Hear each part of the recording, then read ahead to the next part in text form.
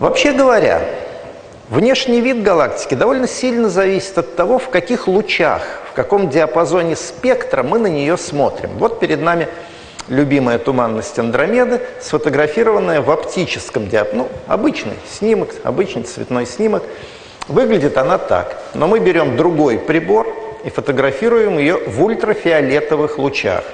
Это, конечно, можно сделать только с помощью космического телескопа, потому что ультрафиолет не проходит сквозь земную атмосферу. Но теперь космических телескопов достаточно много. Вот сравните эти портреты. Что-то общее есть, но, в общем, и достаточно велико раз, различие между этими снимками. Но это только оптика и ультрафиолета, ведь есть еще и другие диапазоны спектра, ну, например, инфракрасный, тепловой диапазон. Теперь это возможно. Вот два портрета туманности Андромеды в ближнем и дальнем инфракрасных диапазонах. Ближний – это э, ну, печка какая-нибудь горячая, э, излучает с температурой несколько сотен градусов. А дальний инфракрасный диапазон – это то, что мы с вами или еще, или холодильник наш, вот морозилка, например, нашего холодильника излучает. То есть ниже нуля или около нуля. Как видите, а, тоже есть некое сходство с оптическим и ультрафиолетовым портретами, но и различие тоже велико. Например, здесь яркое ядро, а здесь практически нет ядра. А, таким образом, классификация тоже будет зависеть от того, в каком диапазоне спектра мы изучаем мир галактик. Ну, нельзя сказать, что пока еще Э, достаточно много накоплено данных о других звездных системах во всех диапазонах спектра. Астрономы недавно вышли в космос, недавно получили в свое распоряжение ультрафиолетовые и а, инфракрасные телескопы. Работает только начинается. Так что классификация пока, конечно, оптическая а, проводится. А, все равно мы узнаем, в любом диапазоне спектра мы узнаем тот объект, который перед нами – ну, можно это сравнить вот с такой фотографией. Это тоже тепловая инфракрасная фотография двух объектов. Этот вы наверняка узнали, хотя немножко непривычный вид. А можете подумать, почему именно такой вид, почему наиболее холодная часть здесь, а наиболее горячая часть этого организма вот в этих трех местах. Я думаю, биологи уже догадались, да? Сквозь эти три отверстия мы смотрим практически в мозг животного. Ну, а это э, специфическое место, которое говорит о здоровье этого животного. Ну и вот вторая фотография. Тут немножко сложнее узнать объект. Ну, вы, наверное, тоже догадались, что это человек. Наиболее яркое место это вот здесь у него в руках, это спичка. А, оба эти портрета инфракрасные, и оба они недостаточно четкие – особенно вот этот. К сожалению, это особенность любой инфра... вообще длинноволновой техники. До сих пор у нас нет четко а, изображающих телескопов в инфракрасном диапазоне. И это проблема, которую мы постепенно решаем. Ну и, наконец, изумительные галактики. Вот перед нами звездная система – что это такое? К какому типу ее отнести? А, ну, если посмотреть на центральную часть, что-то похожее на круглую эллипсоидальную систему. Здесь какой-то намек на спиральный узор, но тоже очевидных спиралей мы не видим. В общем, странный конгломерат. Более того, сквозь него, где-то там вдали космической, видна еще одна галактика, приблизительно такого же типа, с ярким ядром и окружающим ее а, ободом таким рингом, кольцом. Такие системы, подобные системы, не укладывающиеся, имеющие структуру, явную структуру, это не регуляр, это структурированная, четкая, как будто бы на токарном станке изготовленная галактика, но не спиральная и не эллиптическая. Такие структуры редко случаются, и астрономы их откладывали а, в отдельный пакет, а, который постепенно накопился, и надо было как-то объяснить его происхождение, существование таких странных систем. Их называют пекулярными. Peculiar, необычный. И таких пекулярных галактик постепенно накопилось достаточно много. И стало ясно, что пекулярность, необычность формы, редкая форма, как правило, сопутствует соседствующим галактикам. Вот перед нами группа, где, ну, тут спираль намечается, а вот это что за конгломерат такой? Это непонятное существо. Ну, эта галактика случайная, она ближе к нам. А вот эта группа явно взаимодействующих, близко расположенных в пространстве систем. И где-то в э, середине, в конце 50-х годов астрономам пришло понимание – что простые формы у звездных систем могут быть только в том случае, если это одиночные, отдельные, отдельно живущие звездные системы. А если они находятся в близком соседстве или даже в контакте, то своей гравитацией они так сильно могут возмутить, исказить форму соседа, что уже ни в какую простую классификацию это не укладывается. Человек, который впервые привел это дело в достаточно а, понятный вид. Это профессор МГУ, ну, его уже нет, а Борис Александрович Воронцов-Велиминов, он работал у нас в астрономическом институте Штернберга, был профессором физического факультета. И он первый а, создал очень детальную классификацию галактик по их форме, то есть морфологическую. Вот одна из тысяч, тысяч страничек его каталога, где для каждой системы обрисованы ее характерные части и с помощью буквенной номинации а, описаны, а, описана форма наличие ядра, спирали, кольца и так далее. То есть у профессионалов сегодня это, это начало 60-х. Как к сегодняшнему дню, конечно, разнообразие галактик выяснилось колоссальное, и э, номенклатура очень разнообразна. Ну, итак, мы с вами пришли пониманию того, что галактики живут, как правило, не поодиночке, а иногда образуют группы соседствующих. Давайте посмотрим, а мы с вами в какой звездной системе живем? В одиночной или в члене какой-то более обширной группы? Ну, вот перед нами схема. Это то, что мы обычно называем галактикой. Ну, Milky Way, Млечный Путь, вот наш диск звездный. Оказывается, вокруг него а, обращается примерно полсотни спутников, то есть мелких галактик, полностью подчиненных гравитации вот этой нашей очень массивной системы и вокруг нее совершающих свое орбитальное движение. Вот как видите, масштаб 100 тысяч световых лет, и в этой области гравитация нашей галактики доминирует и управляет движением спутников. Ну, о судьбе этих спутников мы с вами одну лекцию тому назад говорили – когда я вам рассказывал о большом и малом Магеллановых облаках. Как правило, они движутся постепенно падая и потом сливаются с нашей большой звездной системой. Но все-таки еще несколько дюжин спутников а, живет вокруг нашей галактики. Посмотрим в большем масштабе. Вот наша галактика, область, занятая ее спутниками, а рядом с нами приблизительно такая же спиральная система туманности Андромеды. Она чуть более массивна, чем наша галактика, и, соответственно, имеет больше спутников. И пока мы не уверены, но кажется, среди ее спутников есть небольшая спиральная галактика Мессия-33 или галактика в треугольнике. То есть эта группа не уступает нашей, хотя, конечно, наша изучена полнее, ну просто потому что все это ближе к нам, а изучать группу туманности Андромеды немножко сложнее, она все-таки удалена почти на 2 миллиона световых лет. Это, хотя это по современным меркам не очень много, но затрудняет исследование. Вот примерно так можно э, пространственную структуру нашей, э, как бы сказать, двойной группы представить. Галактика с ее спутниками и туманность Андромеды с ее спутниками. Друг друга они достаточно сильно притягивают, так что эта двойная система обращается вокруг общего центра масс, и все это вместе образует то, что мы называем местной группой галактик, local group.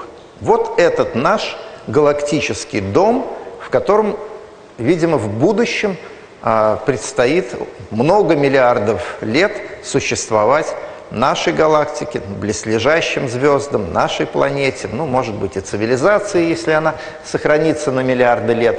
Вот это гравитационно связанные объекты. То есть, что бы там во Вселенной не происходило, связь между этими, ну, здесь примерно полсотни, здесь примерно полсотни, в общем, сотни галактик, видимо, никогда не будет потеряна. Они крепко держатся друг за друга. А, правда, внутренняя эволюция понемногу происходит. Андромеда поглощает своих мелких спутников, наша галактика постепенно поглощает своих близлежащих спутников. И кроме этого, к сожалению, ну, впрочем, не будем об этом сожалеть, кроме этого наблюдается сближение Андромеды и нашей галактики. Еще недавно мы не были уверены в том, чем это закончится.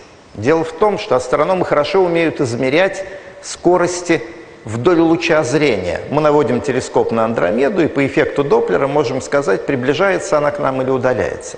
Но еще недавно, буквально лет пять назад, еще мы не были уверены в том, как она движется перпендикулярно лучу зрения. То есть не, были, не знали второй компоненты скорости и не могли полную орбиту вычислить. Сегодня уже можем.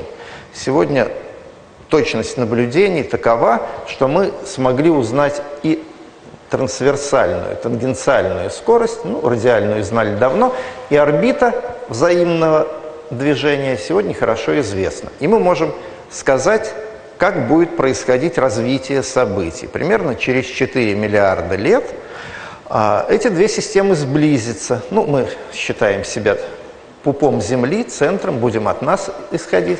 Андромеда приблизится к нам и пройдет ну, довольно близко, на расстоянии чуть больше, чем Магеллановые облака. Пройдет, осуществит пролет, затем еще через 2 миллиарда лет второй пролет и сольется с нашей звездной системой. Произойдет их объединение.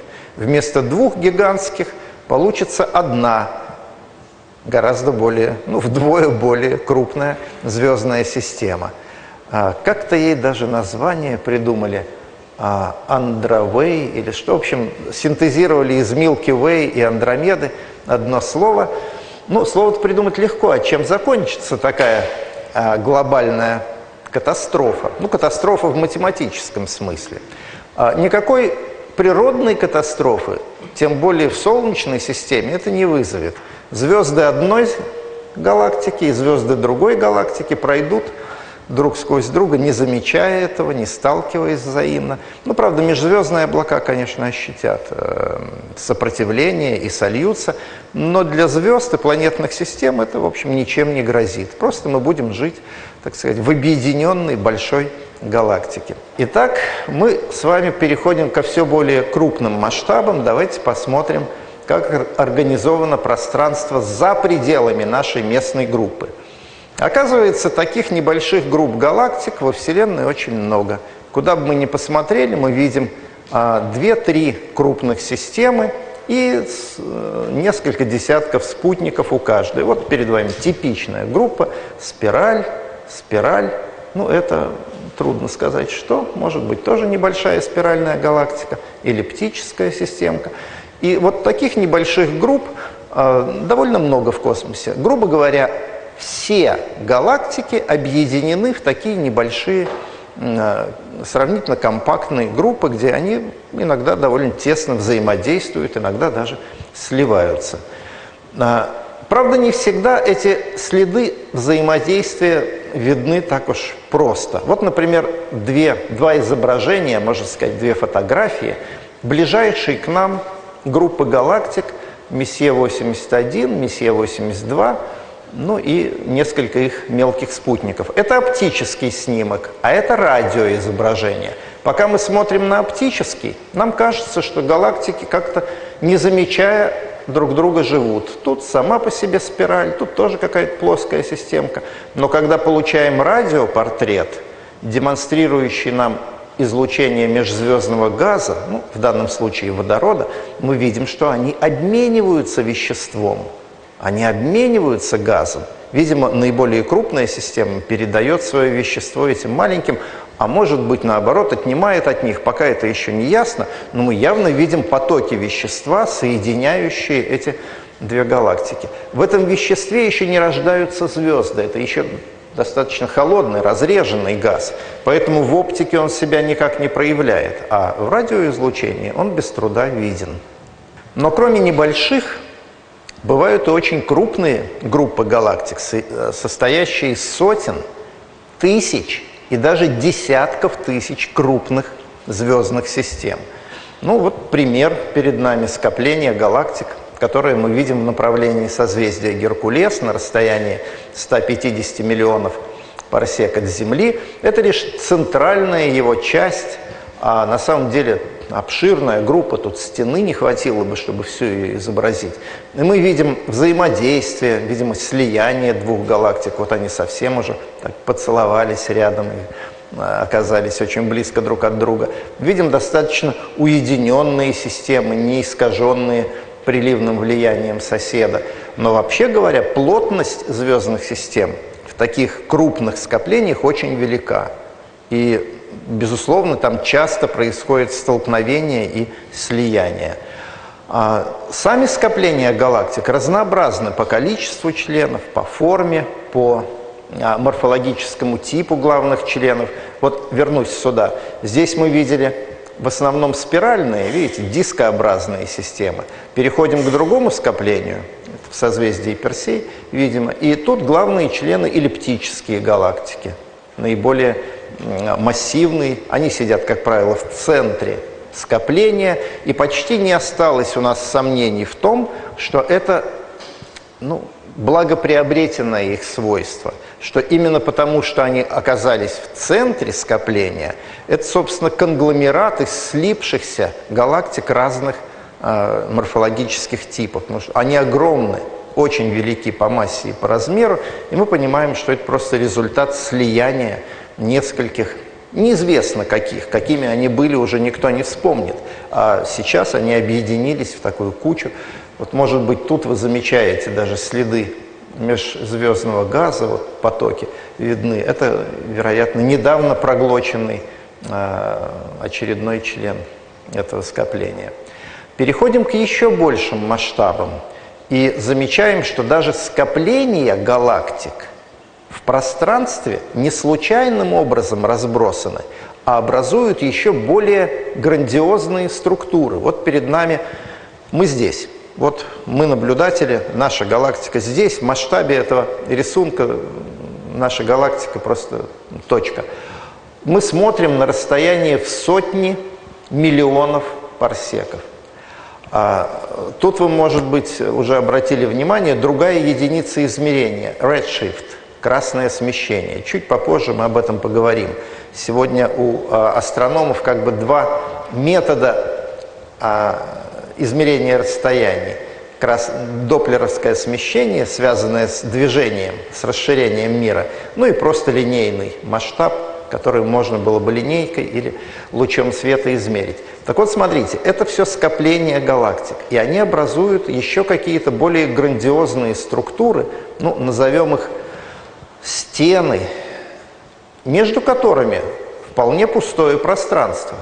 То есть есть во Вселенной гигантские пустоты, почти не содержащие галактика их скоплений, и есть уплотнение огромного размера, сотни миллионов парсек, то есть это масштаб фантастический. И вот э, одна из задач теоретиков, описывающих эволюцию нашего мира, понять происхождение этой структуры, откуда это все взялось, что послужило толчком – к развитию этой структуры. Ясно, что, или, скажем так, еще недавно было понятно, что единственная сила, управляющая движением вещества в таких масштабах, это гравитация, взаимное притяжение. Но уже сегодня это не так, и чуть попозже мы к этому вернемся.